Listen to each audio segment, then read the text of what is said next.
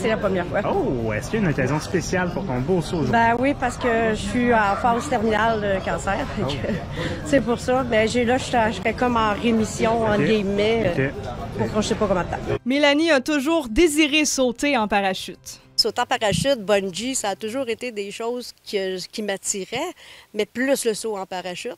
Puis là, en plus, mon conjoint est allé dire Mais pourquoi tu n'essayes pas avec Guillaume le multivierge? Mélanie est atteinte de lymphome. Elle ne voulait pas attendre qu'il soit trop tard avant de réaliser son rêve.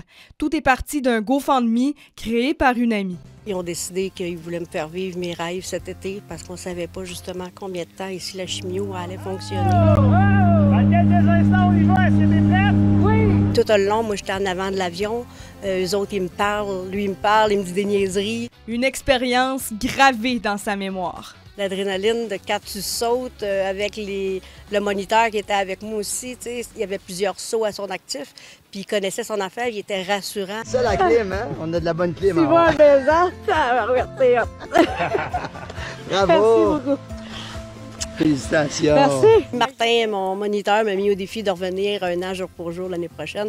Ils m'ont dit qu'ils allaient me revoir. La prochaine fois que je le fais, c'est avec une tuque. Il faisait 2 degrés en haut. Il faisait froid pour ma tête. Et aujourd'hui, elle lance ce message. Tout le monde devrait faire ça, de foncer dans la vie puis de- d'exécuter nos rêves, parce qu'on ne sait jamais non plus un accident de la route quand est-ce qu'il arrive. Tu sais, nous, on, on le sait qu'on a une date de péremption, mais c'est pas tout le monde. On en a toute une date. Donc, ce serait de foncer puis de profiter du monde que vous avez autour de vous autres. Alison Dubé, CIMT TVA, Saint-Honoré.